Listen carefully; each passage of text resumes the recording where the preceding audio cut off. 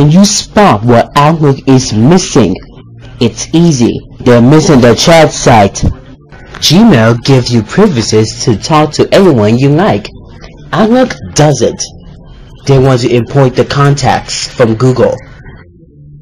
Don't get out spammed and don't be a bingus. When you want something powerful, Google it.